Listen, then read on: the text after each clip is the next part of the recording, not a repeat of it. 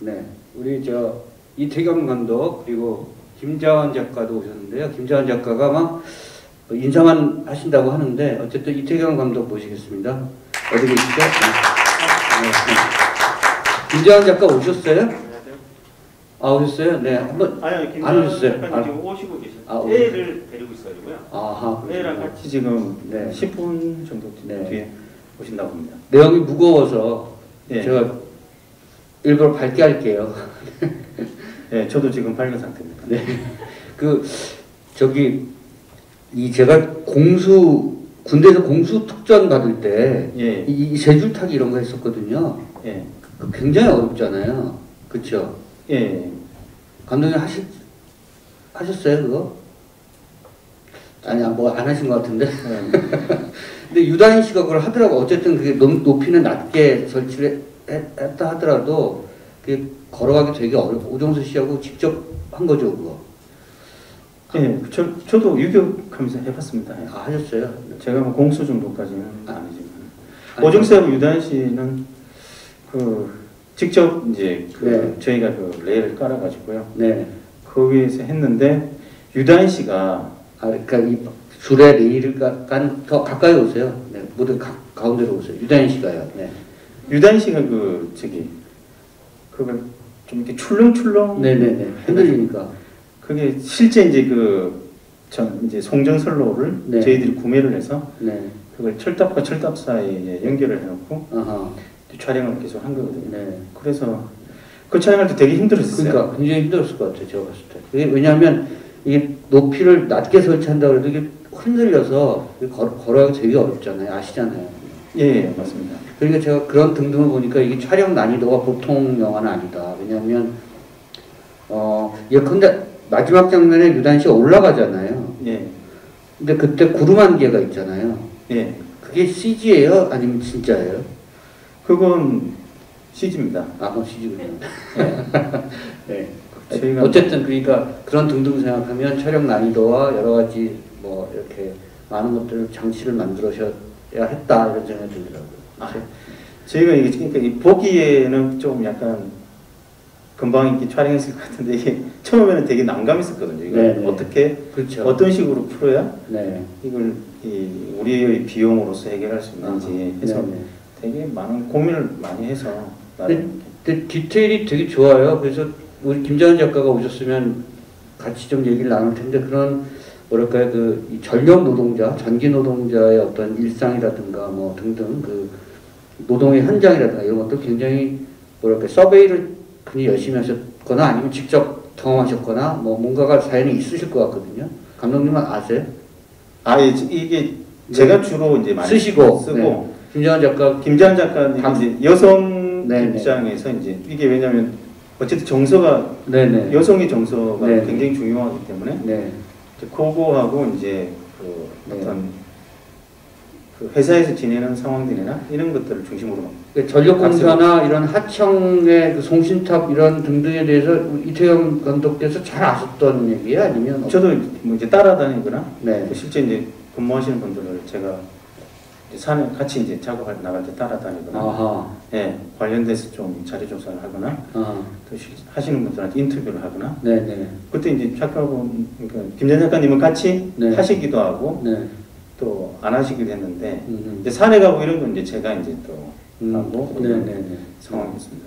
그 송신탑 노동자의 얘기를 영화로 만들어야 되겠다라고 생각하신 이유가 있을까요?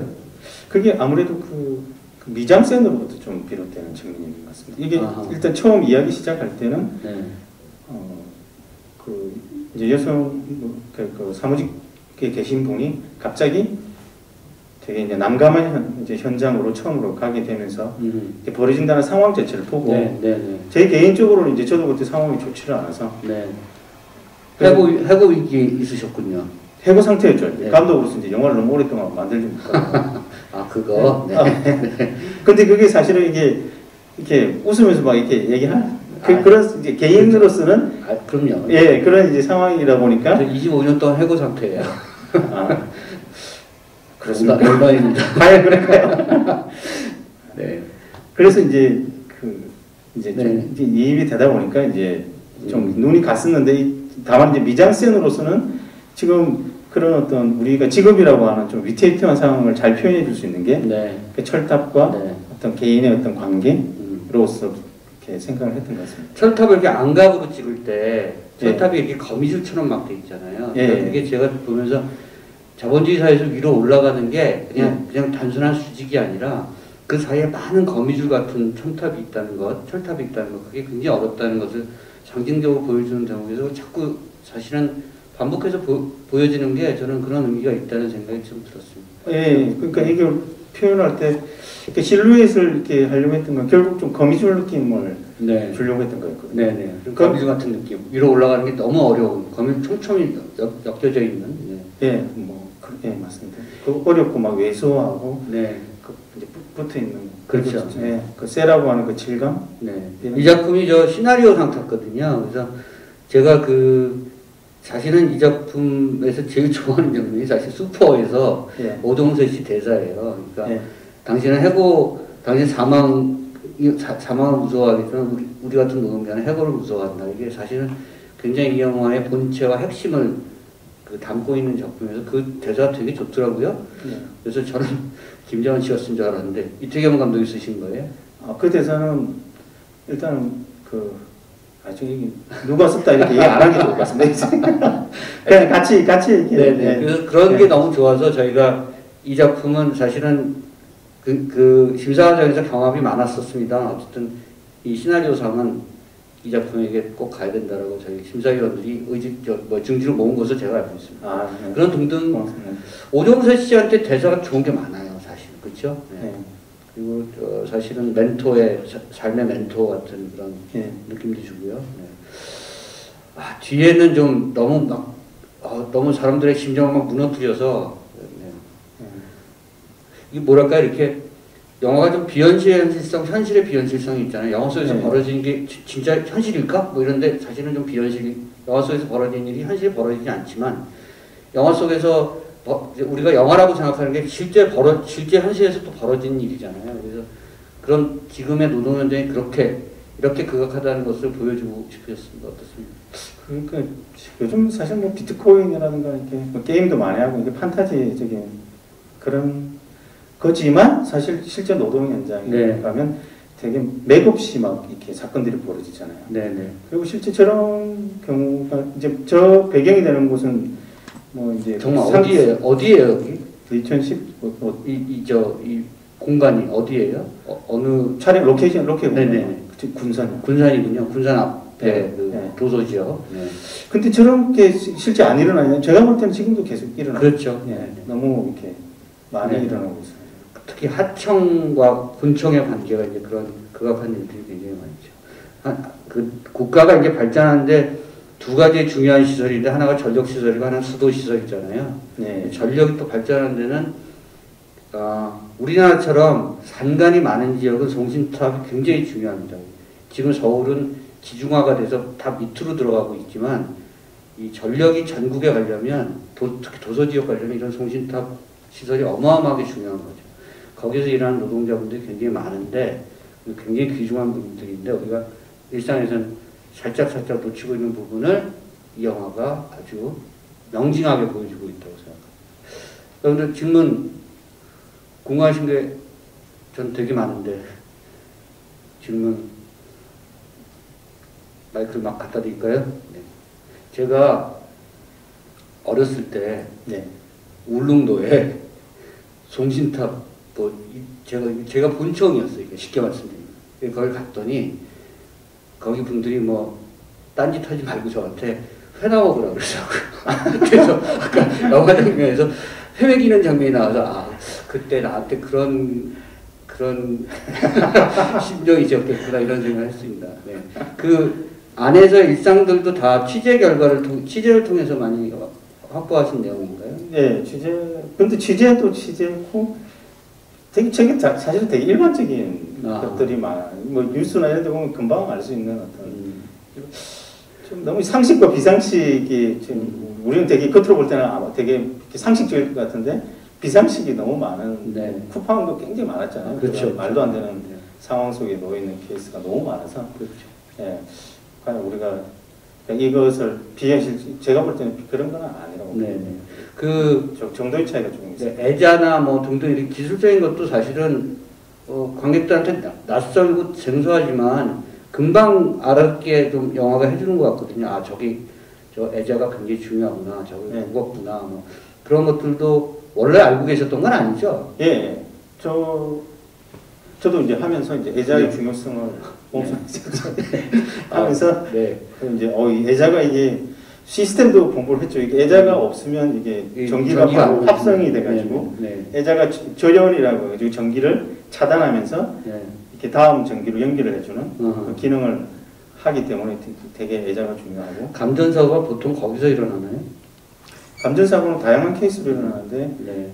애자, 애자 자체보다는 이제 그게 보통은 이제 전기를 수리를 할 때는 저 솔로와 솔로 사이를 끊거든요. 음흠. 전기를 끊어도 그 안에 아하. 보통 몇천 볼트가 흘러가기 때문에 그걸 유도 전류라고 하는데 몇천 볼트가 흘러가는 것만으로도 사망의 원인이 음. 되거든요. 음. 그래서 거기서 이제 좀 이렇게 그 전기를 땅으로 이렇게 왜 이렇게 영화 보면 이렇게 걸잖아요. 전기를 걸으라고 그러잖아요. 네, 네. 그게 땅으로 전기를 빼내는 그 음.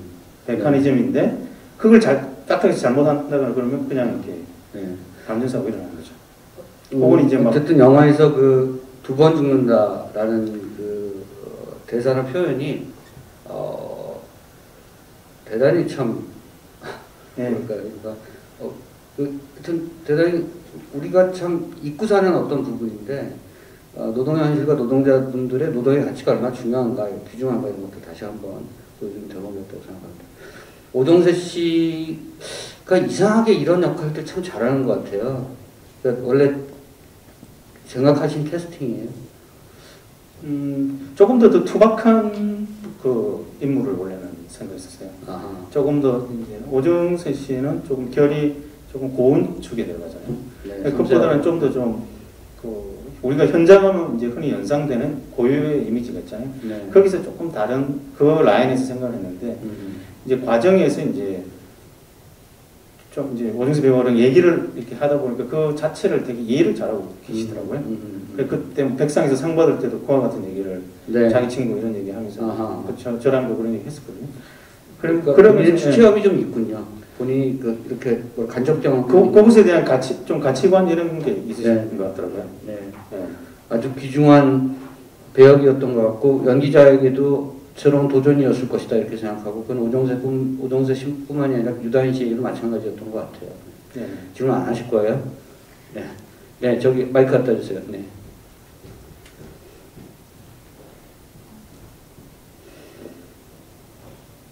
네, 감독님 영화 잘 봤습니다. 잘 봤다라고 말해야 될지 참 모르겠는 묘한 감정이 드는 아 이게 얼마나 음. 네 어, 화이 대부분 지식 기반한 것들의 일을 제가 좀 주로 많이 해서 그런지 얼마나 보이지 않는 현장에서 하는 분들의 소중한 노동과 땀으로 이런 삶을 살고 있는가를 다시 한번 굉장히 몸 깊숙하게 느껴지는 장면들이 좀 많았었어요.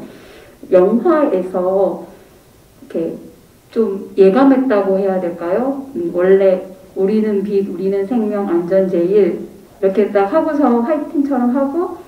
올라가는 장면이라던가 마치 이분들의 의식처럼 음. 항상 올라가기 전에 바닥에서 먼지가 흙먼지 같은 것들을 흙이나 이렇게 툭툭 털어내는 장면들이 있었는데 그 장면에서 오정세 씨가 막내 씨가 그걸 안 털고 가서 제가 직감적으로 어허. 어, 왜 저러는 거 안 하시지? 이러면서 약간 마음이 조마조마했었거든요. 아, 근데- 예리하시네요. 네. 예, 그래서 그 찍었다가 편집했을 수도 있는데. 어, 그게 안 틀고 올라가고, 실제 안 틀고 올라가고, 실제 아. 그걸 안 가지고 가거든요. 아, 네. 그래서 좀 불안한 마음으로 가다가 그렇게 떨어져서 너무 소스라치게 좀 놀랐었어요. 그러면서 되게 그 둘이 대화에서 이렇게 운명 같고 숙명 같은 그런 순간들이었던 것 같거든요. 그 죽음이. 그러니까 예. 왜 올라가냐라고 물어봤을 때 까마득하게 올라가기 어려운 장면을 딸들 때문에 올라간다고 했고 자동차 키에 뭘 가지고 무슨 상상을 하면서 그래도 그 용기를 냈을까 궁금했었어요. 그러다가 나중에 다시 올라갈 때는 거기 오정 그 막내 씨가 전 막내 씨 전기도 거기에 닿으니까 이러면서 올라가는 약간 좀 숙명 같은 느낌을 좀 받았거든요. 제2의 삶을 살지 않을까 그러면서 밀양도 생각나고 음. 또, 또 다른 노동자 김진숙 노- 지도위원도 생각나고 다양한 사람들이 생각나는 여러 가지 장면들이 많았어요. 그래서 일단 영화 찍을 때 그런 장면을 일부러 약간 복선을 넣으려고 하셨던 건지도 좀 궁금했고 어떤 장면으로 그걸 올라가고자 했을까? 그리고 또다시 이제 아직 미해결 과정으로 되게 마침표는 안 지켜진 영화 같거든요. 그래서 혹시 후반 작업처럼 뭔가 이 뭐 그런 건 아니지만 어떤 상상을 하게 하, 하는 장면이 많았어요. 이 여자는 이제 유다 이렇게 아. 이 배우는 어떻게 될까? 네, 박 대리는 이유가 어떻게 될까? 박 대리는 어떻게 될까? 네. 그럼 왜 죽은 거야? 막 이러면서 안전을 그렇게 했는데 왜 그렇지? 막 이러면서 이런 날씨 올라가지 않아요? 막 이랬는데 어, 그래서 흩어져 있는 전기 때문에 그렇게 했나? 너희들이 죽인 거야? 막 이랬는데 약간 풀리지 않는 자- 얘기들이 좀 많아서 네. 그런 것들이 좀 궁금했어요. 네. 네. 네. 궁금하신 게 굉장히 많은데 어쨌든 많아서 처음부터 네, 끝까지 다 얘기해요. 네, 본인이 답을 하신 것도 있어요. 발을 털지 않고 올라간 거라든가 이런 등등은 그 예측하게 한 거다. 되게 예리하게 제- 보신 것 같은데요. 네. 예, 그 실제 그 그게 그때 그런 복선을 이제 아무리 그냥 지나가더라도 그렇게 해야 될 것 같아서 그렇게 했는데 그 원래 그 저기 뭐야 그 이염새 있죠 걸쇠 있잖아요 네, 네. 그 전기 연결하는 부분 그거는 원래 가지고 갔었어야 되는데 정세 지급을 안 가지고 가더라고요. 음, 발을 안 틀고 가는 거는 발을 안 틀고 가고서 그냥 올라가기 때문에 그 약간 뉘앙스를 주려고 한 건데 그러니까 그거까지 안 들고 가니까 음. 결국은 그것을 안 들고 감으로 인해서 이제 사고가 났다 이렇게 되기 때문에 음. 그 되게 예리하게 잘 보신 음. 것 같아요. 앞에 설정을 좀 해- 해야지 사실 사고의 개연성을 네. 드라마로서 만들 수가 있으니까 뭐 네. 그런 부분들을 캐치하신 것 같습니다. 예. 아, 김재환 작가 오셨어요? 김재환 작가 어디 계세요? 네, 들어, 들어오세요. 네, 어디? 네, 들어오세요. 인사하세요. 네, 어, 애기야. 안녕하세요. 가운데로 오세요, 가운데. 네, 박수 한번 부탁드리겠습니다. 네. 우리 저 시상식 때 못 뵀었던 거죠? 아, 뵀었나요? 아, 죄송합니다.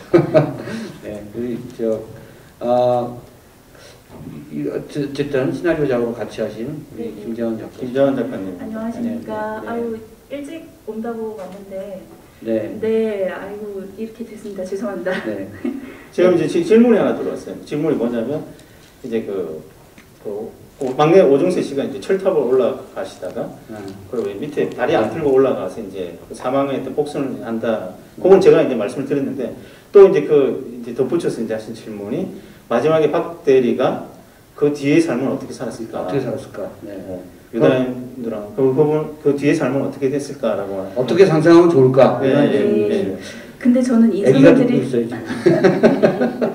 저는 인사만 드리고 가려고 했는데 감독님께서 붙잡아 주시는 것 같고 네. 어, 제 생각에는 정은이 같은 경우에는 일단 자신이 그런 경험을 겪고 나서 사회에 대한 시점이나 관점이 조금 달라지지 않았을까 라는 생각을 갖고 있고 그 특히 영화 중간에 보시면 종이를 구기는 장면 나오는 거 진호이의 신청하려고 네, 네. 했던 그거를 더 진행을 하지 않았을까라는. 생각을 가지고 있습니다. 네. 음. 보통 그 여러분들이 뭐 잘 아시겠습니다만 그 과정이 굉장히 지난해요. 진호이하고 뭐이 행정적으로 뭐 실정법사로 싸우는 과정이 굉장히 길고요. 아, 사람들 많이 지치게 하거든요. 그러니까 우리가 흔히 얘기하는 것처럼 끝까지 싸우기가 굉장히 힘들어요. 그러니까 사실은 끝까지 싸우지 않는다고 해서 비난할 일도 아니라고 생각하고요. 아무튼 그런 것들을 다 견디는 사람들이 제가 지비를 참 많이 해봤지만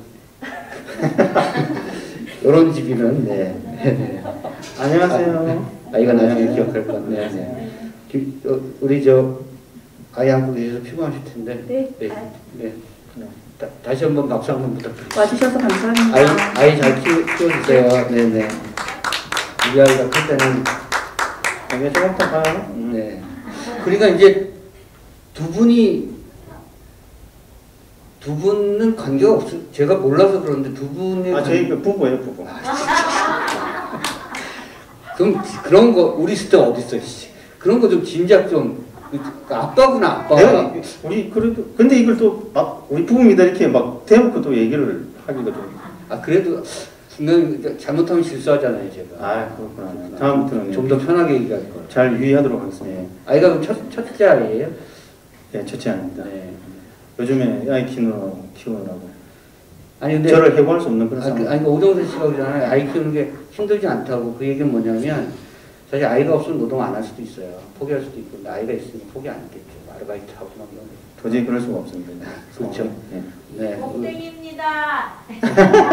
자, 또 질문 감사합니다. 네 질문 주실까요? 이제 마지막 질문 하나 받고 이제 정리하겠습니다.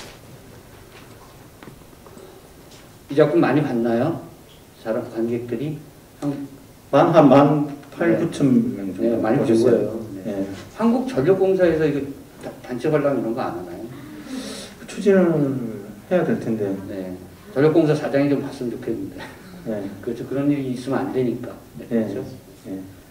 추진을 네. 네, 이렇게 점점점 저도 점점점 네. 계속 상영하도록 하겠습니다. 저는 사실은 어, 들꽃 영화상에서 상영되는 작품들이 어, 저의 바람은 이렇게 막 순회 상영하고요. 1년 내내 이렇게 많은 많지는 않- 않아도 상영할 때마다 이렇게 작은 관객들 계속 만나는 과정이 소중하다고 생각하고요. 예.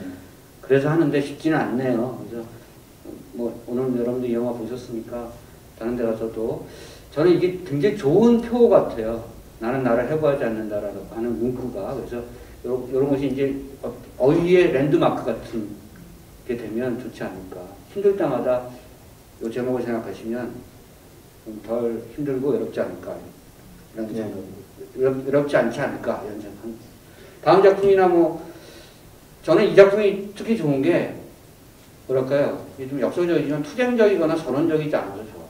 막, 막 앞에 막 띠두, 띠두르는 느낌 이런 것이 아니고 막 선언을 하는 느낌이 아니어서 전자하게 일상에 녹여 있는데 그 일상의 어떤 절박함들이 드러나서 게참그 정서가 좋은 거죠. 그 톤의 매너가 굉장히 좋은 거죠. 이런 식으로 계속 작품을 예, 저도 이 작품을 제 하다가 보니까 그래서 인간에 있어 뭐 직업의 가치나 노동의 가치, 인간의 가치 이런 부분에 대한 고민이 조금 더 이렇게 실제적으로 된다고 할까요? 네. 그 책에서 읽- 읽는 것과 다르게 음, 좀 고민이 되면서 그 작품을 이와 관련돼서 좀 이렇게 한번 해봐야 되겠다라는 생각이 네. 들어서 예, 그 연관 지어가지고 이제 네.